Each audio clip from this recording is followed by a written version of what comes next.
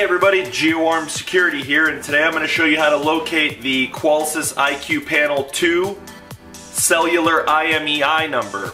The IMEI number is the number that's needed by our uh, technicians in order to activate the cellular unit on this device.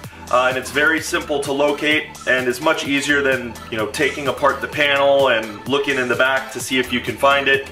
Uh, this is a much easier option. So all you would do is select down uh, until this tab pops up.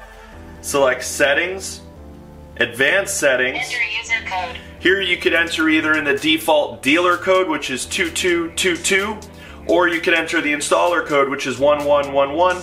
I like to use the dealer code 2222. gives you more options, a couple more options. Um, now all you're going to do is locate About.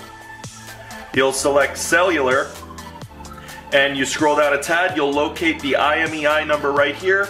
You can go ahead and jot that down and make sure you have it handy either on your customer information form or handy so that when you have your remote tech appointment for activation, uh, you provide that to the techs and they'll be able to activate that for you.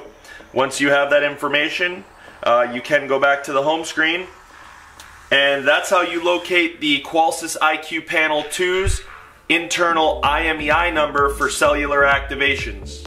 Make sure to subscribe to our YouTube page and click the Show More tab underneath the video where you can view valuable links pertaining to this product, similar how-to videos, and our low-cost, no-contract alarm monitoring services.